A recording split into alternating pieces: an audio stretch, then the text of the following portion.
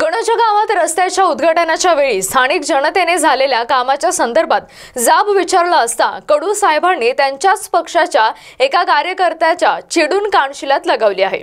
ही बाब अत्यंत निंदनीय असून आमदार साहेबांना शोभणारी नाही.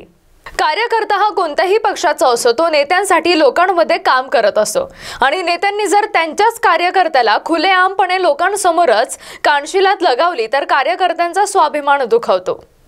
अनिरुद्ध उगले झुमॉन न्यूज़ अमरावती.